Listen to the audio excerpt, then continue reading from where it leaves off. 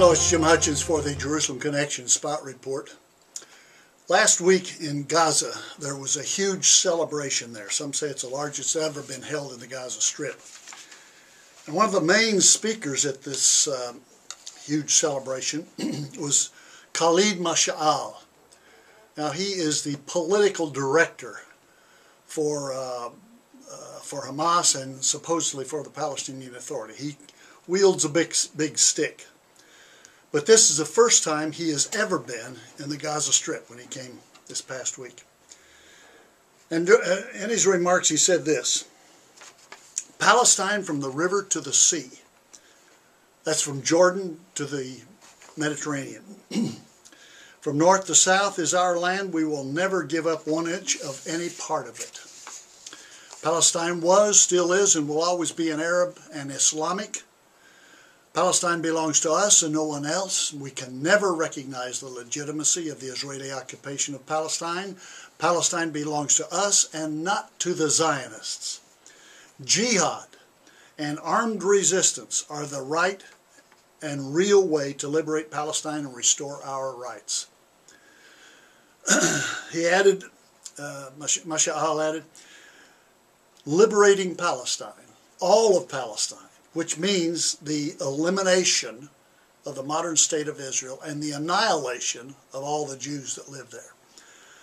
Liberating Palestine, all of Palestine, is the duty, right, and goal of all Arabs and Muslims.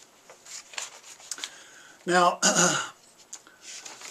the Prime Minister responded to this by uh, referring to what uh, Masha'al said to a reporter. Masha'al's fiery start statement stand in sharp contrast to a recent interview he gave to CNN's Christiane Amanpour, where he said that Hamas accepts a Palestinian state within the pre-1967 borders. He doesn't accept a, a, a, an Israeli state or a Palestinian state living together. It is beyond me uh, what it is that our leaders don't understand when the Palestinians say, we don't want a two-state solution, uh, we don't want to live in peace with Israel, we want Israel destroyed, and we want the Jewish people annihilated. That's what they want. And they've said this time and time and time again. What is it that our, our leaders don't understand when the Palestinians have been so clear about this? Uh, I think that's very significant that we just refuse to recognize this. And as a result, our leaders uh, continue to pursue obsessively this fantasy of a two-state solution. It's never going to happen. It will not happen. Let me tell you what's going to happen, according to what God says.